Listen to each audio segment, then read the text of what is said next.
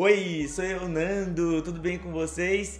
Tem duas coisas muito importantes que eu quero falar para vocês. A primeira é que você tem que assistir esse vídeo até o final, que eu vou dar várias dicas durante o vídeo todo, até o finalzinho eu vou estar tá dando dica. E outra coisa que eu quero falar para vocês é que nesse vídeo aqui vai ter meta de likes. No último vídeo que eu ensinei a fazer geladinho gourmet, bateu aproximadamente 78 mil likes. Nesse aqui eu quero 100 mil. Parece que é muita coisa, mas não é não. É só você clicar aí no gostei, porque quando bater os 100 mil likes eu vou fazer várias outras receitas inéditas inéditas aqui pro canal e também vai ter uma surpresa para vocês. Olha que eu já ensinei a fazer 40 sabores diferentes aqui no canal, já criei uma página lá no site dando várias dicas para você que tá iniciando a fazer geladinho gourmet, para você que quer vender geladinho gourmet, para você que quer melhorar as vendas, isso tudo de graça, sem cobrar nada. A única coisa que eu peço para vocês é o que? Que se inscreva no canal, que compartilhe o vídeo, que assim vai me ajudar muito e vamos chegar em 500 mil seguidores esse ano, a nossa meta, tá bom? E vamos para a receita receita.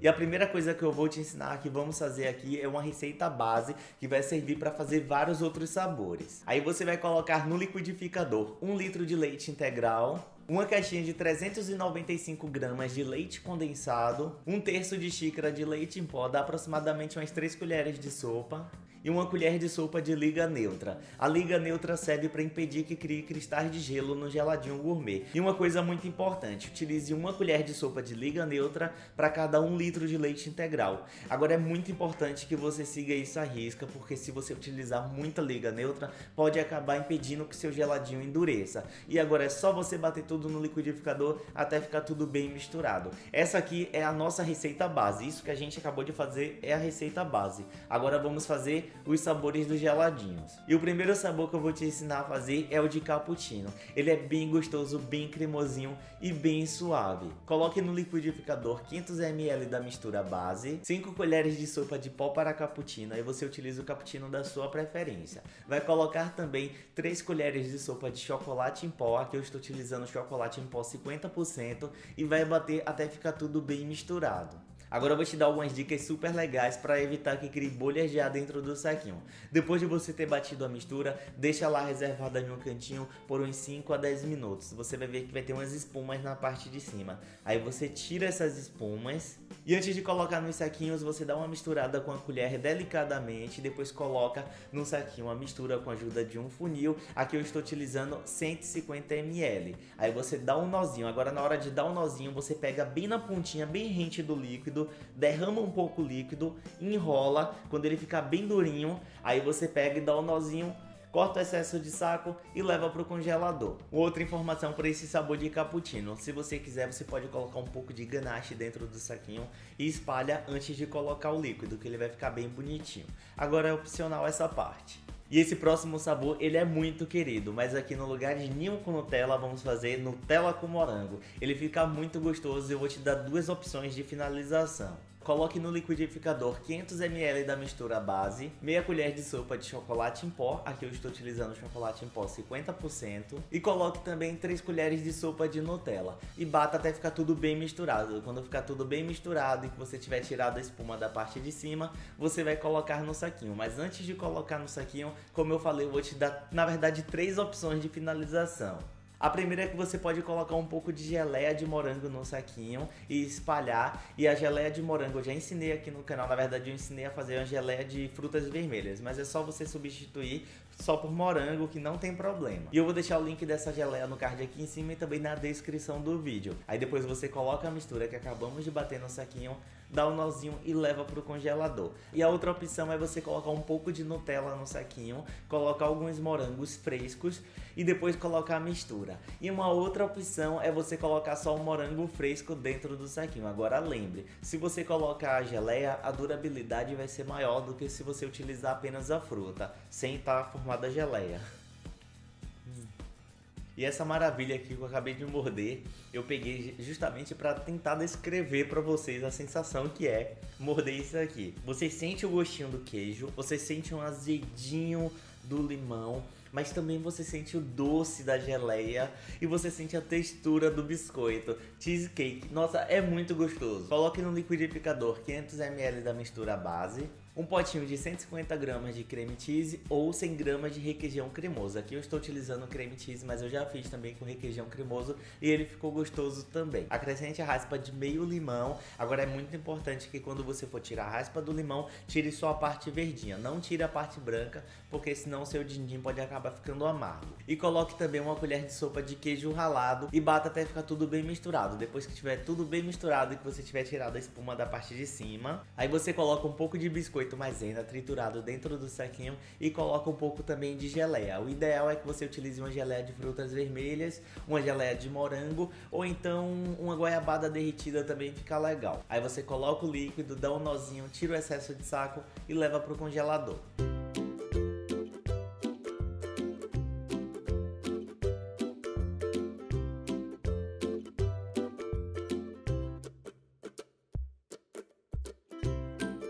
Todos ficaram maravilhosos. Esse daqui, inclusive, ficou muito gostoso e muito bonito.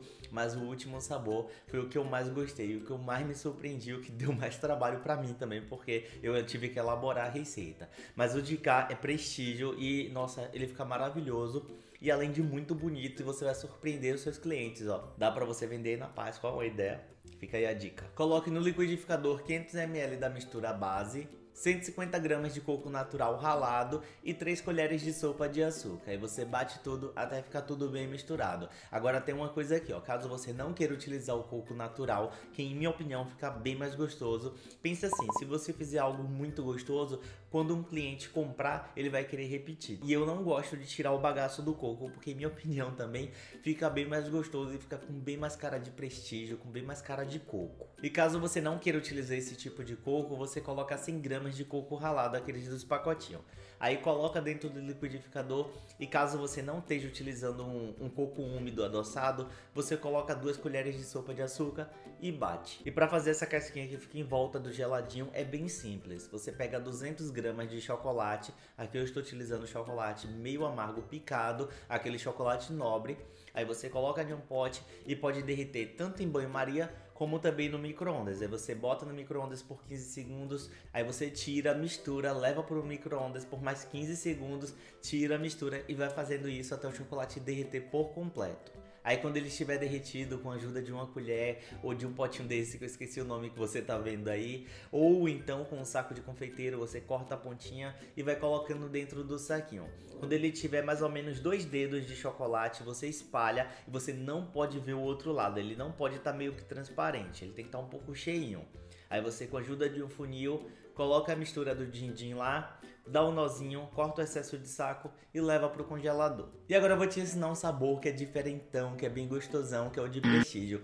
E esse aqui não é que nem aqueles que só é colocar o bumbum dentro do liquidificador e bater não, viu? Ele é diferentão mesmo, ele tem aquela casquinha e além de ter a casquinha, ele tem um negocinho que eu vou dizer daqui a pouco, que vai fazer essa casquinha ficar bem crocante. Quando a pessoa morder vai fazer...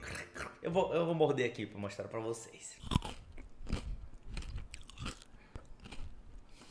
Você vai colocar no liquidificador 500 ml da mistura base, 4 colheres de sopa de doce de leite e meia colher de sopa de chocolate em pó. E vai bater até ficar tudo bem misturado. Quando ficar tudo bem misturado, você tira o excesso da espuminha que fica na parte de cima e vamos preparar a casquinha. E para fazer a casquinha é bem simples. Você vai derreter o chocolate e vai colocar flocos de arroz dentro do chocolate.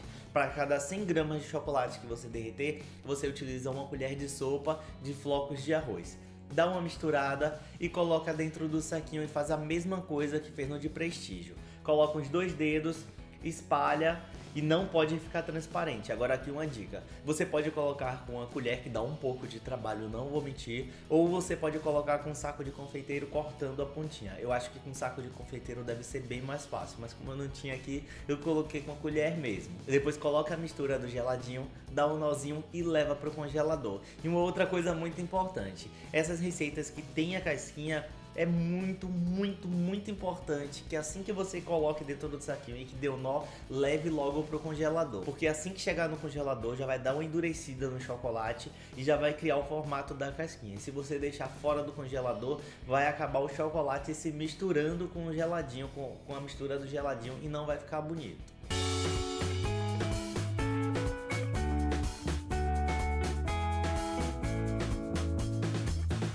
E esse último sabor aqui é o diferentão, que me deu bastante trabalho para elaborar essa receita, porque eu tive que ficar testando até a quantidade de pimenta ficar perfeita. E enquanto ela não ficava perfeita, meu Deus, eu cuspi fogo aqui, viu?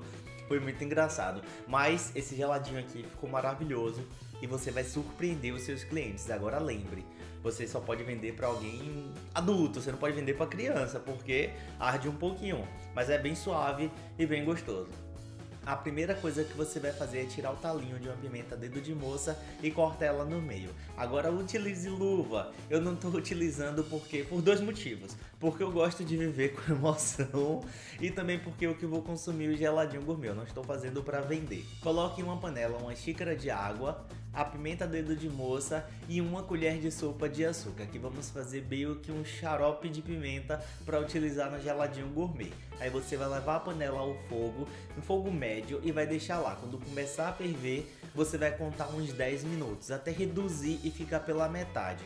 Aí quando ficar na metade, você desliga o fogo e tira de lá e vai peneirar. Por favor, passe na peneira, não coloque a pimenta toda inteira dentro do geladinho, porque senão você vai matar seu cliente. Aí você vai colocar no liquidificador 500 ml da mistura base, Acrescente também esse xarope que fizemos com a pimenta e meia xícara de chocolate em pó. Aqui eu estou utilizando chocolate em pó 50%. E bata até ficar tudo bem misturado. Quando ficar tudo bem misturado, aí você tira a espuminha com a colher. Se você quiser, você pode colocar um pouco de chocolate no saquinho. Aí com a ajuda de um funil, você coloca a mistura dentro de um saquinho, dá um nozinho e leva para o congelador. Aqui eu não coloquei o chocolate por fora, mas se você quiser, você pode... Por fora não, por dentro do saquinho, mas se você quiser, você pode colocar.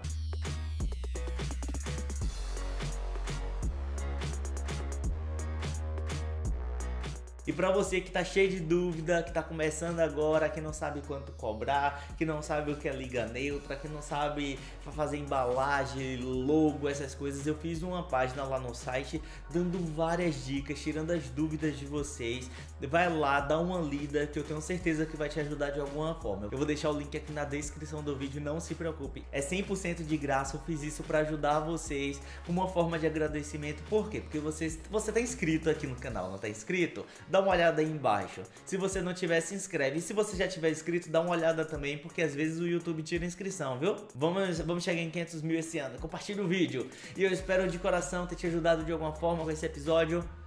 Beijos e uma, uma outra coisinha aqui. Cheio de, de uma outra coisa nesse vídeo, né? Mas não é a vida. Se você tiver qualquer dúvida, pode deixar aqui nos comentários. Às vezes eu demoro de responder porque chega muitos comentários e às vezes o YouTube não manda notificação. A melhor coisa que você tem que fazer é o quê? Me segue lá no Instagram e me pergunta lá nas fotos. Aí quando você vê a última foto que eu tiver postado, você pergunta lá que lá eu recebo sempre a notificação e eu sempre vou dar uma olhada. E aproveita e me acompanha lá também.